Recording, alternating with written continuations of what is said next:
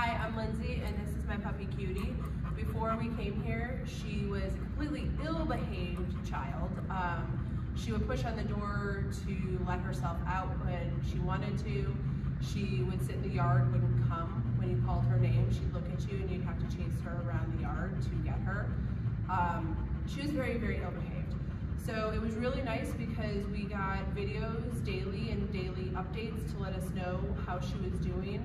Now she is able to heel on command. There's no more pulling, which is amazing. She can sit, she can come when she's told to. So she, I'm so excited and I'm really hopeful that Dad and I will be able to keep up all of her training so that